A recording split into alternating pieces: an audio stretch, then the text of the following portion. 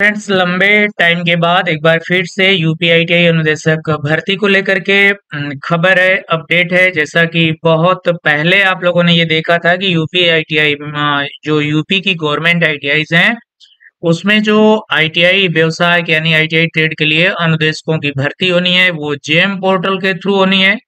जिसमें एक बड़ी अपडेट ये है कि मैं आपको यहाँ पे दिखाऊँ। तो पहली बात की ये जो लेटर है, वो आपका 12 जुलाई 2023 का है। यहाँ पे आप देख पा रहे हैं 12 जुलाई 2023 साथ में ये आप देख रहे हैं कि राजकीय आईटीआई जेम विषय आप यहाँ पे देखें कि राजकीय आईटीआई में जेम पोर्टल के माध्यम से अनुदेशक सेवा कार्य संचालन हेतु बीट खोलने के संबंध में तो इस पूरे पत्र में ये है कि जो मिर्जापुर आईटीआई है आप यहाँ पे देखेंगे कि प्रेषक ज्वाइंट डायरेक्टर विंध्याचल मंडल मिर्जापुर, और यहाँ पे सदस्य सचिव, फिर उसके बाद गवर्नमेंट आईटीआई, दुद्दी सोनभद्र, सदस्य, गवर्नमेंट आईटीआई, ज्ञानपुर भदोही, सदस्य, फिर सहायक निदेशक क्षेत्रीय सेवा आयोजन कार्यालय, मिर्जापुर। यानी कि जिसको आप इम्प्लायमेंट न्यूज़ या इम्प्लायमेंट ऑफ़िस बोलते हैं, जिला रोज़गार कार्यालय। तो वहाँ से ये पत्र जारी हुए हैं। इसमें ये बताया गया है कि जो जेम पोर्टल के थ्रू गवर्नमेंट आईटीआई में अनुदेशकों की, यानी कि व्यवसाय को पढ़ाने के लिए, ट्रेड को पढ़ाने के लिए, ट्रेड की ट्रेनिंग कराने के लिए, जो नियुक्तियाँ होनी है, वो जेम पोर्टल के थ्रू होनी है। तो आप जानते हैं कि आप जब भी अप्लाई करेंगे तो अपना रजिस्ट्रेशन जिला सेवायोजन कार्यालय, यानी जो आपका सेवायोजन यानी डिस्ट्रिक्ट सेवा योजन का जो पोर्टल है, वहीं से आपको अपना रजिस्ट्रेशन करना है। रजिस्ट्रेशन आप कर देंगे, लेकिन आप वहाँ पे आपको कैसे फॉर्म भरेंगे, कैसे आपको नियुक्ति होगी, कैसे आपको मिलेगा।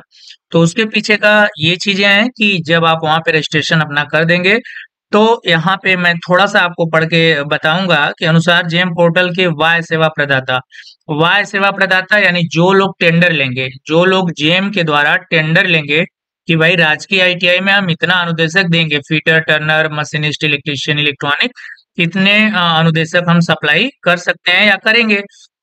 तो ये तभी पॉसिबल होता है जैसे टेंडर कई लोग डाल दिए कि जैसे मैं हूँ, आप हैं, मान लीजिए दो लोग टेंडर डाल दिए। तो इसमें देखिए यहाँ लिखा है कि जिसकी टेक्निकल बिड खुलने की तिथि 27 जुलाई 2023 साढ़े तीन बजे और फाइनेंशियल बिड खुलने की तिथि 27 जुलाई शाम को पाँच बजे। राजकीय औद्योगिक प्रशिक्षण संस्थान मिर्जापुर निर्धारित की गई है। तो इसमें जो भी टेंडर डालेंगे, जो भी कंपनियाँ टेंडर डालेंगी, उसी के थ्रू आप वहाँ पे, उसी के थ्रू यानी आपका अपॉइंटमेंट होगा, जो गवर्नमेंट सैलरी देगी, वो उन कंपनियों को देगी और वो कंपनियाँ वो सैलरी आपको प्रोवाइड करते हैं। जेम का मतलब यही है जेम मतलब थर्ड पार्टी यानी गवर्नमेंट और अनुदेशक के बीच का जो बंदा होगा, ये पूरे अनुदेशकों का जो ऑर्डर है, उनको मिलेगा वर्क ऑर्डर इसको बोलते हैं। उसके बाद आप वहाँ पर अप्लाई करेंगे, यानी आपका सिलेक्शन उस कंपनी में होगा और वो कंपनी आपको सैलरी प्रोवाइड करेगी। तो पूरा मामला इस तरह का है दोस्तों। यह एक अपडेट थी, आप तक देनी थी। कुछ भी अपडेट अनुदेशक भर्ती से मिलेगा तो मैं ज़रूर आपको लेकर के वो न्यूज़ आऊँगा।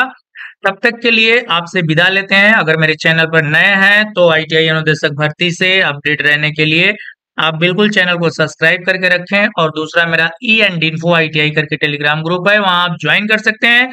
ज्वाइन करके आप मुझसे कन्वर्सेशन भी कर सकते हैं, आप मुझसे सवाल जवाब भी कर सकते हैं। You will get your satisfactory answer मिलते हैं नेक्स्ट वीडियो में नेक्स्ट इन्फो नेक्स्ट अपडेट के साथ। तब तक के लिए धन्यवाद।